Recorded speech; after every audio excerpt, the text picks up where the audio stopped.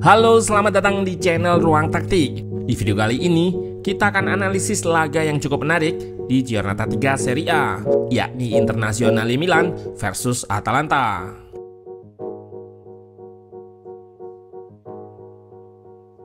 Inter menunjukkan kelasnya sebagai juara bertahan Serie A dengan menggilas habis Atalanta 4 gol tanpa balas. Jika dilihat dari statistik, sebenarnya perbedaan antara kedua tim tidak begitu mencolok. Mereka saling bergantian mendapatkan momentum dan meski Inter unggul possession, Atalanta pun cukup banyak lepaskan tembakan dengan total XG yang lebih besar. Namun yang jadi pembeda, pada laga ini Simone Inzaghi menerapkan taktik yang cukup jitu guna membongkar man-to-man marking ala Gasperini. Yakni dengan pemain-pemain Inter yang banyak melakukan rotasi posisi dan pergerakan tanpa bola yang cair hampir semua pemain Inter tampil bagus pada laga ini. Namun nama Marcus Thuram yang paling mencolok dengan keterlibatannya di tiga dari empat gol Inter. Nah, penasaran dengan bagaimana detail taktik Inter membongkar man-to-man marking Atalanta? Let's go, kita bahas sama-sama.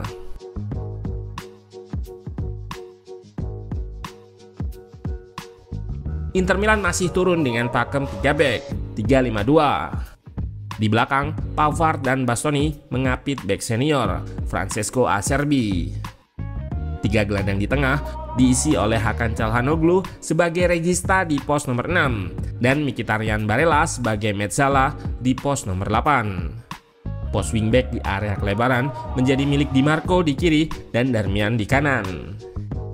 Serangan di depan dikomandoi oleh duet Lautaro Martinez dan Marcus Thuram. Sementara itu, Atalanta juga turun dengan pakem 3 back, 3-4-2-1. Retegui sebagai ujung tombak ditopang oleh dua gelandang serang baru, yakni Lazar Samardzic dan Marco Brescianini. Di tengah, Ederson bersama Pasalik diapit oleh Belanova dan Zappa Costa di pos wingback. Lini pertahanan digalang oleh Martin Derun, Jim City, dan Matteo Ruggeri. Seperti yang disinggung di awal, Atalanta di bawah asuhan Gianpiero Gasperini merupakan tim yang kental akan man-to-man marking saat bertahan. Ruang taktik sendiri sudah beberapa kali membahas man-to-man marking Atalanta sejak musim lalu ketika mereka berhasil mengandaskan Liverpool dan Bayer Leverkusen di Europa League. Musim ini, cara bertahan yang sama masih digunakan oleh tim berjuluk Ladea ini. Kelebihan dari cara bertahan man-to-man marking ini adalah setiap pemain punya tugas yang jelas mengenai siapa pemain lawan yang akan dijaga, juga bisa membatasi ruang gerak lawan secara langsung. Namun kelemahannya, cara bertahan ini cukup rawan dimanipulasi jika lawan yang dihadapi mempunyai pergerakan yang cair, karena pemain akan mudah terikat dan tertarik oleh lawan yang melakukan pergerakan tanpa bola. Dan di laga ini, sang jenius Simone Inzaghi nampak paham betul dengan hal ini. Ia pun memberikan lisensi kepada anak asuhnya untuk banyak melakukan pergerakan tanpa bola guna memanipulasi man-to-man marking Atalanta. Dengan formasi awal 352, secara natural struktur build up Inter akan nampak seperti ini tiga center back di lini pertama, dua wing back di area kelebaran, dan tiga gelandang di tengah. Namun jika menggunakan struktur yang rigid seperti ini, akan mudah diredam dengan man-to-man marking Atalanta. Sehingga di fase awal ini, Inter banyak melakukan rotasi posisi yang cukup ekstrim.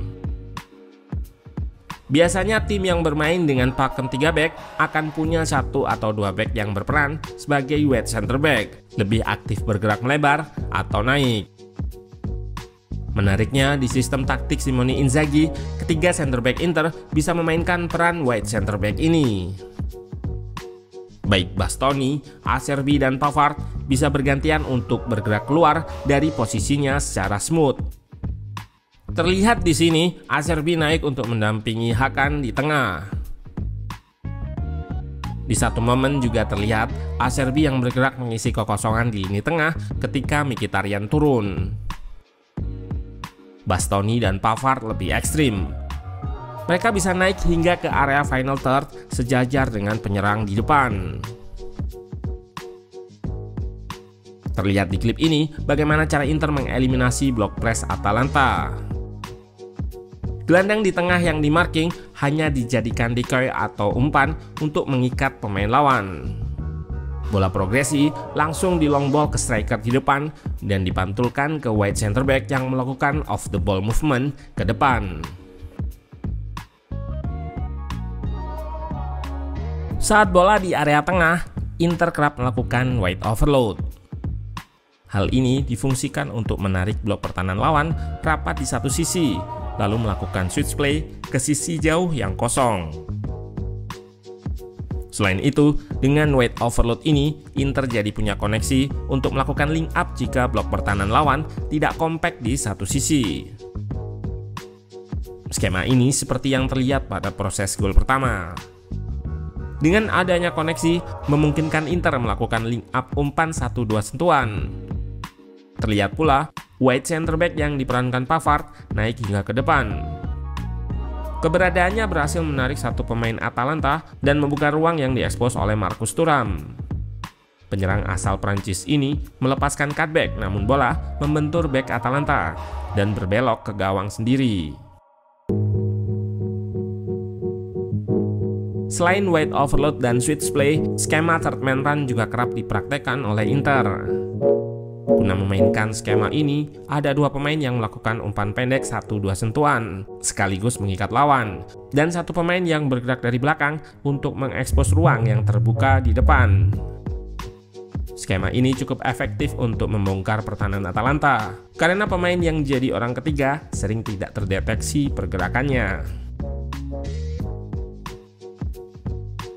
Selain taktik dan skema yang sudah dijelaskan, kunci kemenangan telak Inter pada laga ini adalah dominasinya dalam memenangkan second ball.